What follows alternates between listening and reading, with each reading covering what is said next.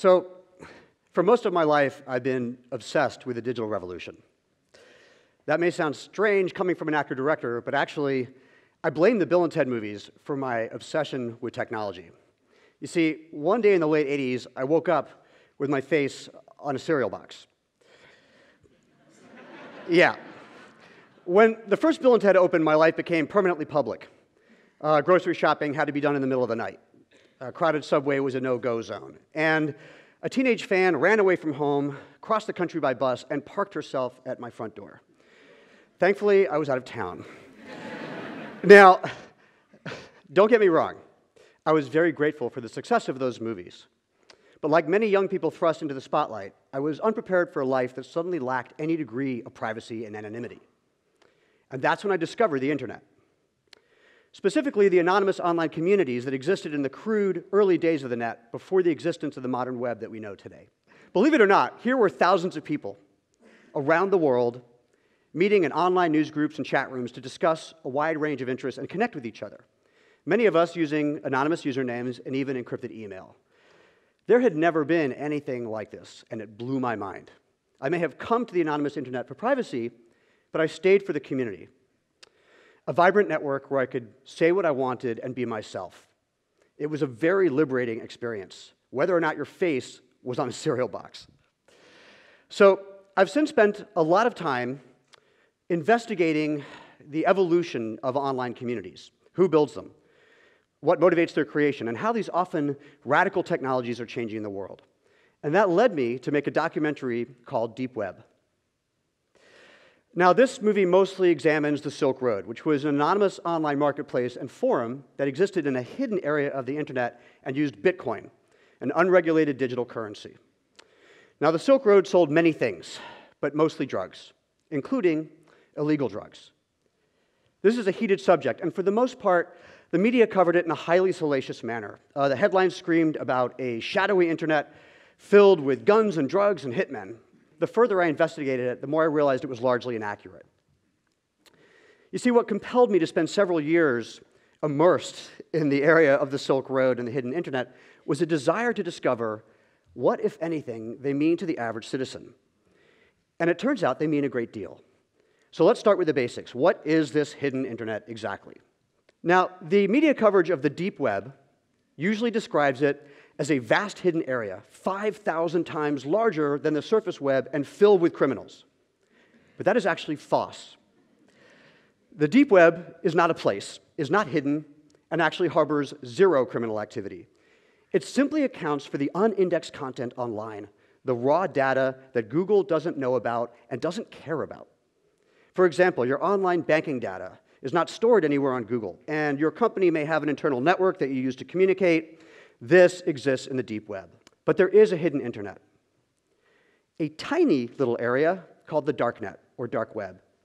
And this small corner of the internet is comprised primarily of information that is actively hidden from public view. And this is the area worth talking about. So, the darknet it can only be accessed by specific tools, like Tor, which is a special browser and service that masks your browsing activity and gets you into the darknet. Will you find crime? Yes but not to the degree that the media has claimed, and crime is neither the primary use of the darknet nor why it was built. Now, the internet was originally funded by the Department of Defense, and as it became publicly facing with the World Wide Web, new technologies were created to ensure its use for defense. So, really, the darknet is just another tool, and it's used by government agencies all over the world, along with journalists, dissidents in countries with hostile governments, whistleblowers, and just regular folks who want to create and utilize anonymous online communities like the ones I spent so much time in back in the late 80s. And like any place where human beings congregate, there is illegal activity. So let's look at that. There are black markets selling drugs, and many of these, most of these, like the Silk Road, primarily sell marijuana. Altogether, they represent a small fraction of the physical drug trade. Guns Yes, guns have been sold on the darknet, though not effectively.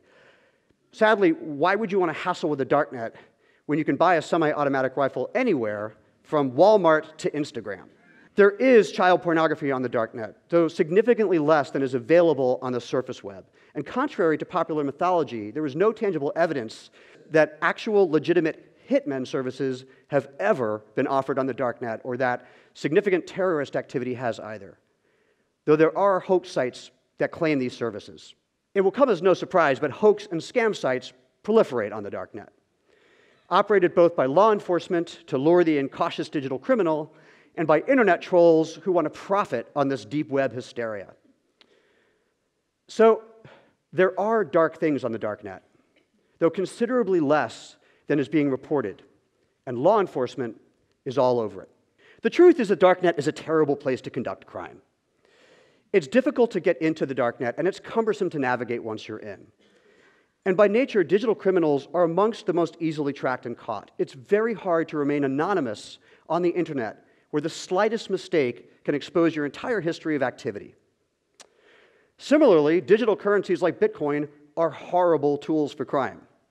While they are capable of being anonymized, by nature, they are the least anonymous form of currency that exists, with every single transaction being permanently recorded in a digital ledger. And the internet never forgets. So, why the cyberspin and hysteria in the media? Well, it sells. It's good for clickbait. It makes for, you know, sexy TV shows and movies. It sells magazines. But there is another agenda at work to demonize the dark net and to scare people away from it. Now, who would want to do that? People in power who believe that the privacy and anonymity that the darknet enables will cause them to lose control. And that's where the Silk Road comes in. Because however you choose to judge it, one of the chief motives for its creation was to fight back against that control. Now, there's a lot about the Silk Road we'll never know because it was built and operated in a hidden area of the internet by anonymous users. But we do know that in 2011, a young physics grad student from Austin, Texas, named Ross Ulbricht, created this online market. It was a brilliant combination of Tor, which hid the site's location, and Bitcoin. Now, Ulbricht claims he created the Silk Road as an economic experiment, a test case to create an online market and forum that would allow its users to congregate with total freedom and anonymity. That is a radical idea. But as a technology service, it was a watershed. And the Silk Road immediately attracted thousands of users.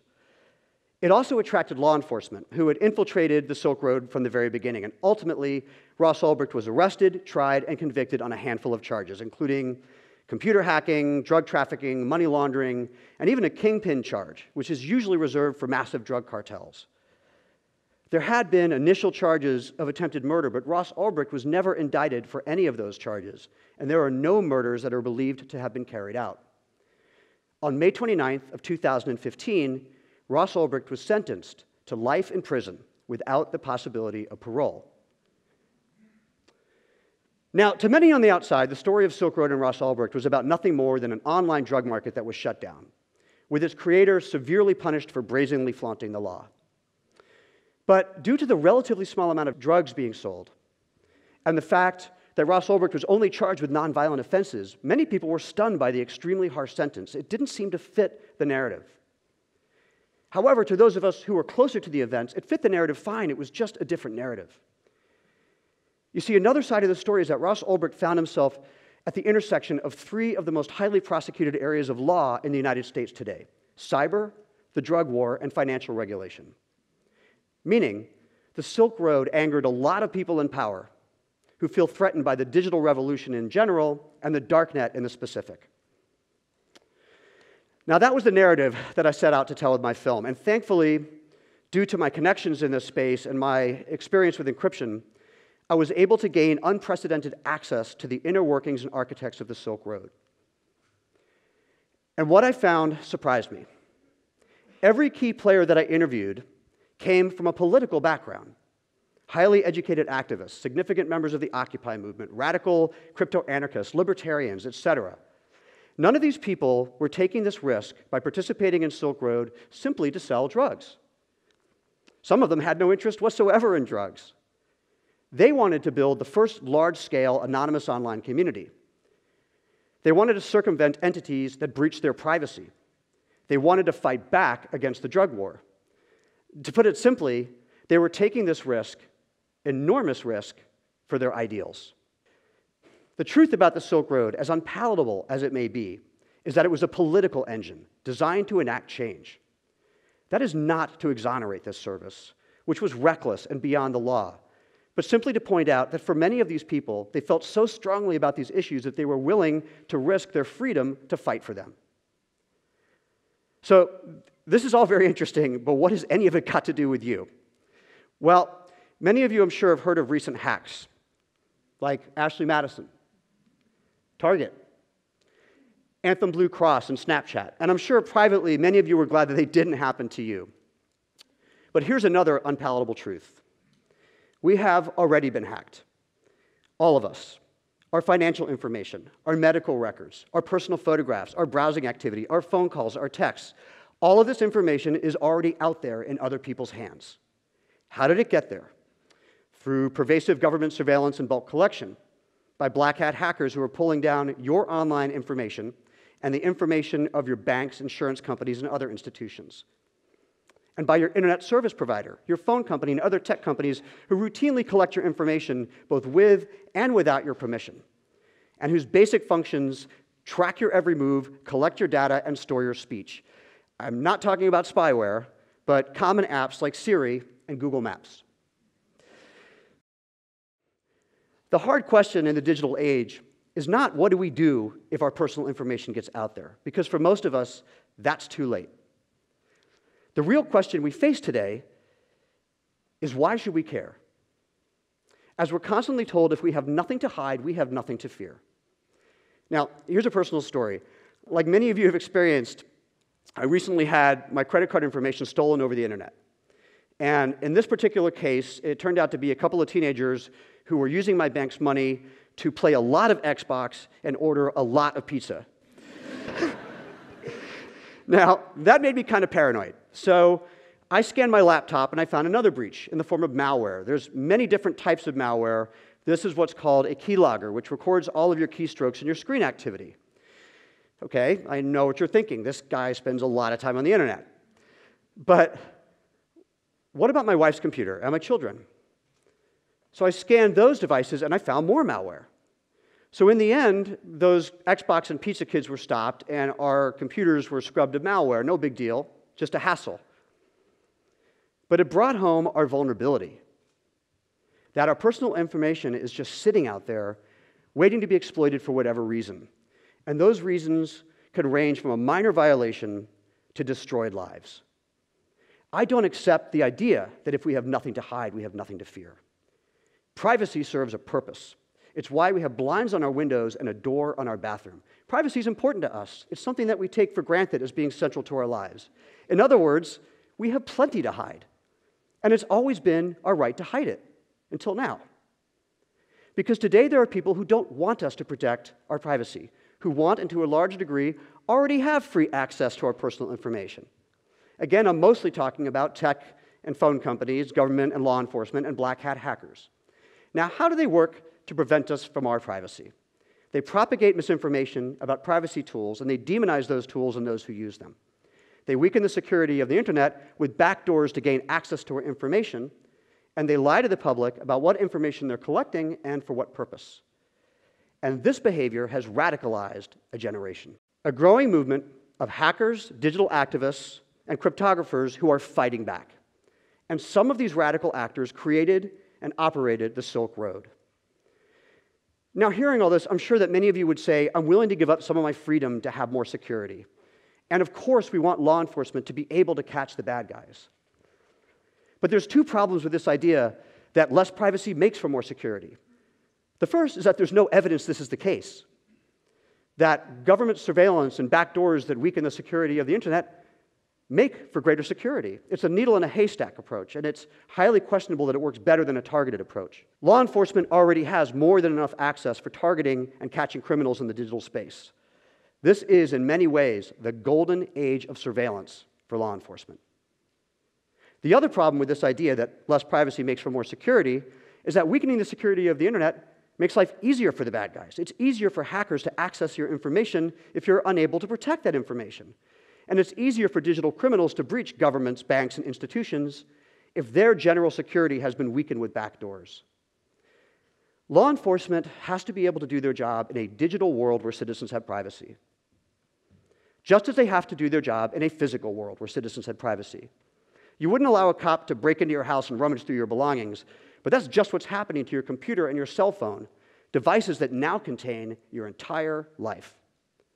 By the same token, corporations need to be able to conduct business and crunch their data with less access. And black hat hackers have to be met with airtight security tools, not weakened ones. But how on earth do we go about achieving all this? It requires the very thing these people are most afraid of. We need to go dark. To go dark means that everyone would be utilizing privacy and anonymity tools at all times. Tools like Tor and virtual private networks that protect your browsing activity just as they protect darknet sites like Silk Road. PGP and encryption services that keep emails private. And fully encrypted phone calls and texts. Now, these services used to be difficult for the average user, but that's changing. The desire for privacy and security in the digital space is becoming big business. You may not realize this, but Apple's iMessages are now encrypted, where it used to be that anyone could access your text messages. And now uh, websites are usually using secure connections by default. And that's just the beginning. It's now been over 30 years since I first discovered the power and the value of anonymous online communities.